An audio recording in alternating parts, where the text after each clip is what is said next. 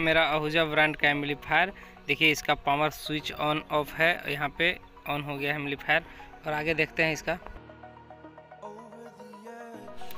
हाय दोस्तों, नमस्कार। आप सब कैसे हो? आई होप कि आप सब अच्छे होंगे।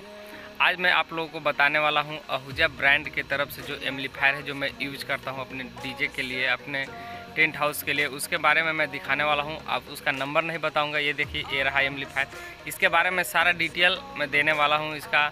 मानिए, एक तरह से रिव्यू और इसके फ्यूचर के बारे में मैं बताने वाला हूँ। तो वीडियो को स्किप मत कीजिएगा, कहीं जाइएगा मत। वीडियो को लास्ट तक बने रहिएगा। चलिए, बिना लेट किए हुए वीडियो को स्टार्ट करते हैं और आपको दिखाते हैं कि एम्पलीफायर मेरा कैसा है। आप लोग देख के कमेंट बॉक्स में जाकर बताइएगा कि कैसा लगा आप लोग का एम्पलीफायर तो ये रहा मेरा एम्पलीफायर का ऊपर का हिस्सा। जो ऊपर के साइड से दिखता है, इस तरह के कुछ। और इसके ऊपर हैंडल लगा हुआ है। हैंडल लगने के बाद दोनों साइड से हैंडल है। इसका ऊपर में, टॉप में भी हैंडल है और साइड में भी हैंडल है, क्योंकि इसका मशीन का वेट काफ़ी है। लगभग इकतालीस के जी वज़न का एम्पलीफायर है। एक आदमी के तो बस की बात नहीं है कि कहीं उतारता है या चढ़ाता है, इसमें दो आदमी लगते हैं। इसलिए दोनों साइड हैंडल दिया हुआ है। आप खड़ा के भी उठा सकते हैं और ऊपर से भी उठा सकते हैं। तो ये देखिए आहूजा ब्रांड की तरफ़ से है। इसका मॉडल नंबर है एस पी ए हज़ार watt power, super power amplifier इसका फ़ी और इसका बहुत काफ़ी अच्छा तरीका से चलता है। दो टॉप या इस पर तीन टॉप बजा सकते हैं जो चार चार सौ वाट का फिकर, इसका मेन वॉल्यूम है जो दिया हुआ है। इसमें ज़्यादा कुछ वॉल्यूम नहीं है, मी ट्रेबल और बेस और मेन वॉल्यूम है। तीन वॉल्यूम के साथ ही एम्पलीफायर बहुत अच्छा लुक में दिखता है। इसमें हॉर्न और बॉक्स का स्विच भी अलग अलग दिया हुआ है। आप एक साइड चाहें तो बॉक्स बजा सकते हैं, या तो चाहे तो आप हॉर्न बजा सकते हैं। दोनों में से किसी एक में सिलेक्ट कर लीजिए। अगर बॉक्स में बजाना चाहते हैं तो बॉक्स के साथ हॉर्न भी बजेगा। अगर ज़्यादातर हम बजाते हैं हॉर्न में, क्योंकि हॉर्न में बेस ट्रेबल सब कुछ देता है तो बॉक्स भेजता है। वो रिसेट का बटन है जो अगर एम्पलीफायर की कभी ओवरलोड हो जाए या कोई प्रॉब्लम हो जाए तो वो बटन को रीसेट कर लगे। उसके नीचे पावर स्विच ऑफ़ ऑन का बटन भी है। और ऊपर देखिए और जब ब्रांड का लोगो लगा हुआ है। एम्पलीफायर बिल्कुल नया ही है। मैं इसको अनबॉक्सिंग कर चुका था पहले ही, कभी बुकिंग में लेके गया था, इसलिए दिखाया है साइड से थोड़ा सा स्क्रैच हो गया है।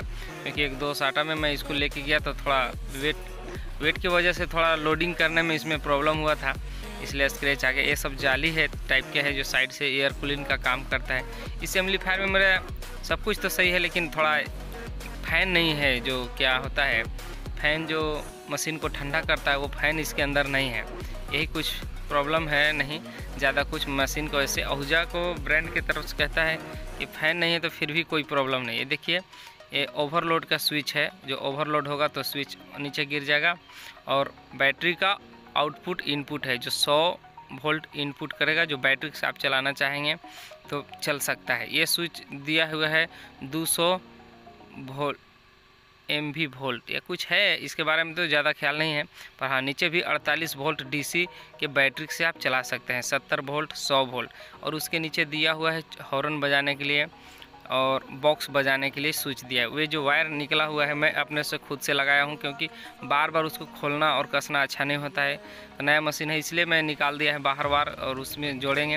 एक पीला वायर है, जो कॉमन का है ब्लैक वाला और एक है सत्तर वोल्ट का हॉर्न बजाने वाला एक रेड वाला है और सौ वोल्ट का हॉर्न बजाने वाला है, जो दूर दूर साइड में लंबा हॉर्न बजाना होगा तो काम आएगा। इसके बाद टू ओम और फोर ओम बॉक्स के लिए निकाल दिया हूँ। अभी तो मैं टू ओम का ही निकाला हूँ क्योंकि मेरे पास दो टॉप है, चार चार सौ वाट बॉक्स का।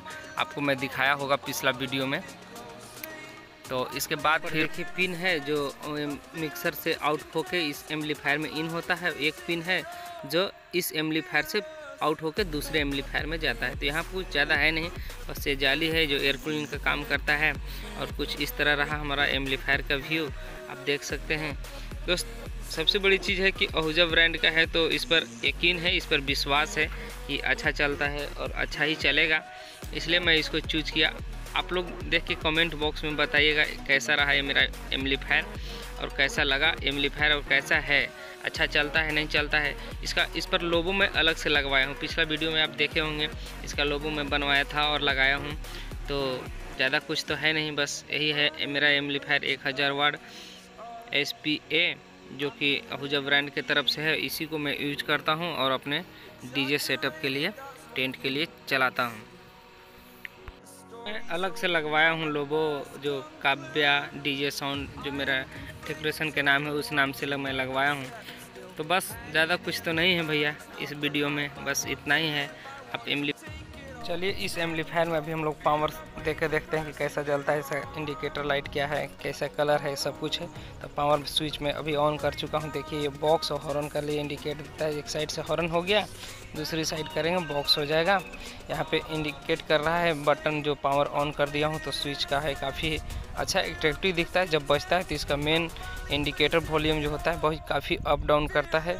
सारा कुछ दिखता है, बहुत दोस्त, कैसा लगा मेरा वीडियो बनाने का एक्सपीरियंस जो कुछ है, छोटा सा वीडियो था, मैं आप लोगों को दिखाया अपने एम्पलीफायर अपने डीजे सेटअप के बारे में। तो अगर ये वीडियो अच्छा लगा होगा तो हमारे चैनल को लाइक कर दें कमेंट करें शेयर कर दें और सब्सक्राइब कर दें, ताकि जब भी मैं ऐसा डीजे से रिलेटेड वीडियो लेकर आऊँ तो इसका नोटिफिकेशन सबसे पहले आप लोगों तक पहुँचे। तो चलिए फिर मिलते हैं किसी अगले ब्लॉग में, अगले वीडियो के साथ, तब तक के लिए जय हिंद, जय भारत।